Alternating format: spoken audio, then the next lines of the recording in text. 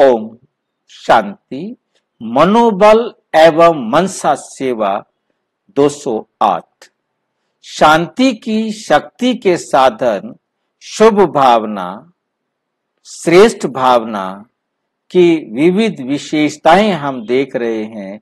आज हम पांचवी विशेषता देखेंगे। श्रेष्ठ भावना की विविध विशेषताएँ। श्रेष्ठ भावना की विविध जो है, विशेषताएँ कौन सी हैं? नंबर एक, श्रेष्ठ भावना द्वारा किसी भी आत्मा के संशय बुद्धि को भावनात्मक बुद्धि बना सकते हैं। उसकी बुद्धि डाउटफुल है, उसके डाउट को रिमूव कर सकते हैं, श्रेष्ठ भावना के द्वारा। जिसके मन में डाउट्स बने हुए हैं, यदि हम उस आत्मा के प्रति श्रेष्ठ भावनाएँ रखें तो उसके डाउट भी दूर हो सकते हैं। नंबर दो, श्रेष्ठ भावना से किसी भी आत्मा का व्यर्थ भाव परिवर्तन कर सकते हैं, समर्थ बना सकते हैं, परिवर्तन करके समर्थ बना सकते हैं। नंबर तीन, श्रेष्ठ भाव द्वारा किसी भी आत्मा के स्वभाव को भी बदल सकते हैं। किसी भी आत्मा के स्वभाव को भी हम बदल सकते हैं। ये श्रेष्ठ भावना का हम समझ रहे हैं, विशेषता क्या है। श्रेष्ठ भावना की शक्ति द्वारा आत्मा की भावना के फल की अनुभूति करा सकते हैं। आत्मा को भावना के फल की अनुभूति भी करा सकते हैं। कि उसको महसूस होगा कि ये भावना है।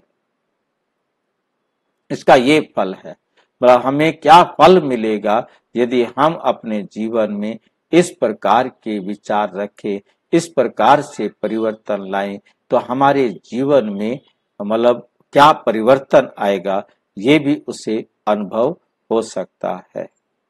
नंबर पाँच, श्रेष्ठ भावना द्वारा भगवान के समीप ला सकते हैं। उस आत्मा को बाबा का बच्चा बना सकते हैं।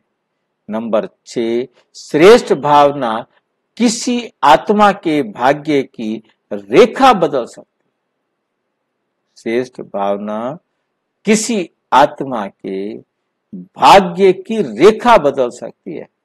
नंबर सात, श्रेष्ठ भावना, हिम्मतहीन आत्मा को हिम्मतवान बना देती है।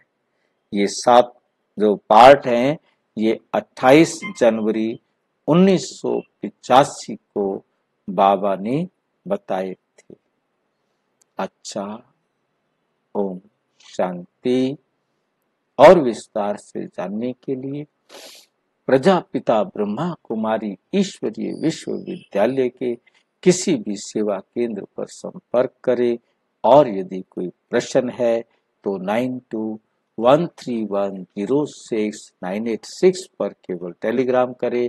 Nine six five zero six nine double two seven zero पर केवल फ़ोन करें।